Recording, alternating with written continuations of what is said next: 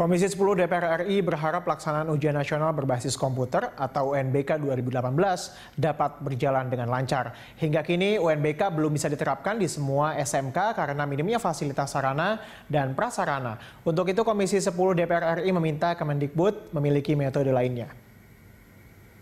Wakil Ketua Komisi 10 DPR RI Hetifa Saifudian mengatakan, Momentum pelaksanaan UNBK tahun 2018 masih belum merata di daerah-daerah yang masih tertinggal karena masih minimnya fasilitas serta sarana dan prasarana yang menunjang untuk pelaksanaan ujian nasional berbasis komputer.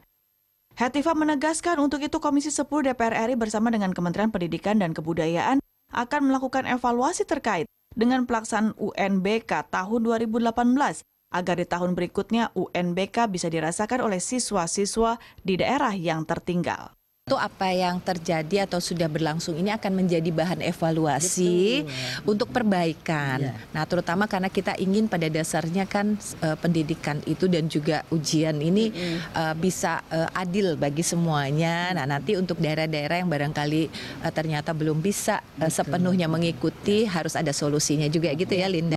Dalam kesempatan yang sama, anggota Komisi 10 DPR RI lainnya, Suryo Alam berharap pelaksanaan UNBK berjalan sukses dan lancar sehingga dapat membuahkan hasil yang baik.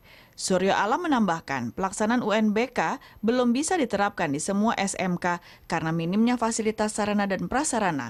Memang pelaksanaan UNBK ini kita minta tidak di seluruh eh, kawasan seluruh wilayah Indonesia itu di, di, disamakan karena beberapa daerah uh, kurang memenuhi fasilitasnya yang nggak cukup. Jadi uh, kita minta kepada Kementerian untuk dicari uh, metode lain. Winnie dan Divo, TVR Parlemen melaporkan.